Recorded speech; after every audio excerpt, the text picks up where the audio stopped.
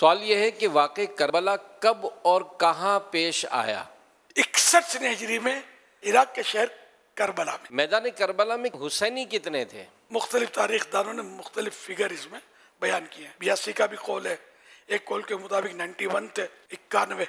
और हज़रत मुफ्ती अहमद यार खान रहमत ने मिरातुल मनाजी में लिखा है कि करबला में हुसैनी काफिला बहत्तर आदमियों पर मुश्तमिल था। बहत्तर मीनिंग सेवेंटी टू यजीदी फौज की तादाद कितनी थी? बाईस हज़ार ट्वेंटी टू थाउज़ेंड कोफा वालों का हज़रत इमाम हुसैन रदी अल्लाह से क्या वादा था? सवाल करबला में कुछ इस तरह लिखा है कि ये वादा था कि इमाम हुसैन रदी अल्लाह इनके पास तशीफ लाएँ तो वो यजीद के बजाय हज़रत इमाम हुसैन रदी अल्लाह की बैअत कर लेंगे। क्या इमाम हुसैन करबला जंग के इरादे से तशरीफ़ ले गए हरगिज नहीं। वो जंग के इरादे से बच्चों को छः छः महीने के बच्चे को लेकर थोड़ी जाएगा औरतों को थोड़ी लेकर जाएगा। अक्ल भी तस्लीम करती है बात। तो लड़ने के इरादे से नहीं गए थे वाकई करबला में इमाम हुसैन और उनके साथियों की कुर्बानियाँ क्या थी? किस किस कुर्बानी का तस्करा किया जाए? अपना वतन है अज़ीज़ छोड़ा मक्का पाक को तर्क किया सफ़र की मुश्किल बर्दाश्त की मैदान करबला में दस दिन तक क़्याम किया पानी की बंदिश बर्दाश्त की कलमा हक़ कलमतुल हक़ अल्लाह का कलमा बुलंद करने के लिए अपनी जाने अपने रब करीम की बारगाह में पेश की। हज़रत इमाम हुसैन रदी अल्लाह और उनके साथियों पर पानी की रसाई कब और कैसे रोकी गई? मुहर्रम की सात तारीख सेवन तारीख को अमर बिन साद ने नहर फुरात के किनारों पर अपनी फौज के पाँच सौ सवार भेजकर हज़रत इमाम हुसैन और आपके रफ़ा पर पानी बंद किया। हज़रत इमाम हुसैन रदी अल्लाह ने करबला में कौन सी मशहूर तकरीर की? मेरे आका इमाम हुसैन रदी अल्लाह उन्होंने अपने फ़जाइल और मुस्तफ़ा जान रहमत सल्लल्लाहु अलैहि वसल्लम से अपनी नस्बत वगैरह का बयान फरमाया। कि ये इतमाम हजत के लिए आपने बहुत कुछ बयान फरमाए। कि कल को ये नहीं कहा क़यामत के दिन का हमको पता नहीं था ये कौन थे? तो यूँ अपने फ़जाइल के मुझे पहचानो मैं कौन हूँ? मैं तुम्हारे नबी का नवासा हूँ। मुझसे लड़कर क्या तुम अपनी आखिरत में सुरखरू हो सकोगे? मैदान करबला में हज़रत अली अकबर रदी अल्लाह की शहादत किस तरह हुई? नवासा रसूल जिगर गोश बतूल। हज़रत इमाम हुसैन शहीद करबला।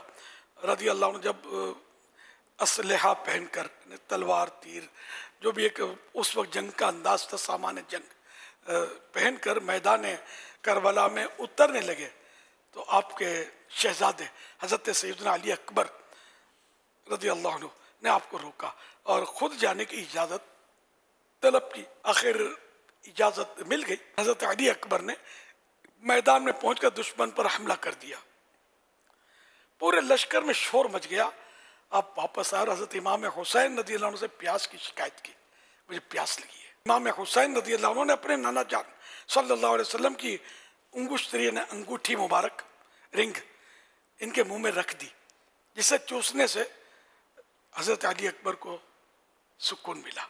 दूसरी बार मैदान में गए। यजीदी तारिक बिन शीस मुकाबले के लिए आया और मारा गया। इसके बाद तारिक के बेटे अम्र और तलहा आए। उनको भी अली अकबर रहमत ने काट के फेंक दिया। इब्ने साद के हुक्म पर 2000 के लश्कर ने एक शहजादे को घेर लिया। और अब वो एक हैं और ये 2000 हैं। वो पेट भरा हुआ है। उनका मतलब प्यास भी नहीं है, ताज़ा दम है, एक तरह से। और यहाँ अली अकबर जिस कैफियत में थे, वो आप सब समझ सकते हैं। अकेले जो थे ये मुकाबला कर रहे थे। इस तरह आपको शदीद जख्म आए।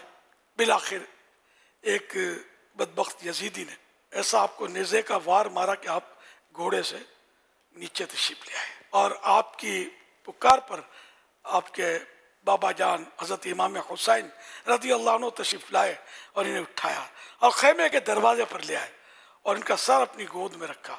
उसी वक्त आपकी रूह आपके बाबा जान इमाम हुसैन रदी अल्लाह की गोद में प्रवास कर गई जहाँ में शहादत नोश कर लिया। हज़रत इमाम हुसैन रदी अल्लाह के कितने रुफ़ा करबला में शहीद हुए? इकहत्तर सेवेंटी वन ये एक मतलब कौल है। मैदान करबला में शहादत इमाम हुसैन रदी अल्लाह अनहु के बाद अहलो याल के साथ क्या हुआ? दिमश्क में यजीद के दरबार में ले जाया गया।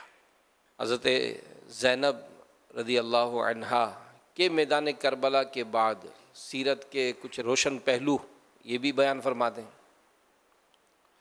हज़रत सैदा बीबी जैनब रदी अल्लाह ये इमाम अली मकाम, इमाम हुसैन रदी अल्लाह की बहन साहिबा थी और ये करबला में साथ साथ थी उस काफिले में। इन्होंने अपने बेटे भतीजे और भाई, अपने प्यारे भाई इमाम हुसैन रदी अल्लाह तहो पर कुर्बान किए। और उनकी शहादत ने देखी। लेकिन इसके बावजूद एक लम्हे के लिए भी बेसब्री का मुजाहरा नहीं किया। और सब्र इस्तकामत के साथ ये सारे हालात बर्दाश्त करती रहीं। गोया आप सब्र का पहाड़ थी, जिन्हें रंजो गम का कोई भी तूफ़ान इनकी जगह से ना हटा पाया। इसी तरह यजीद पलीद के दरबार में भी हज़रत सईदा जैनब रदी ने खुलकर इजहार हक किया। इनका सर कभी भी गैर के आगे नहीं झुका झुका तो सिर्फ़ बारगाह खुदावंदी में झुका।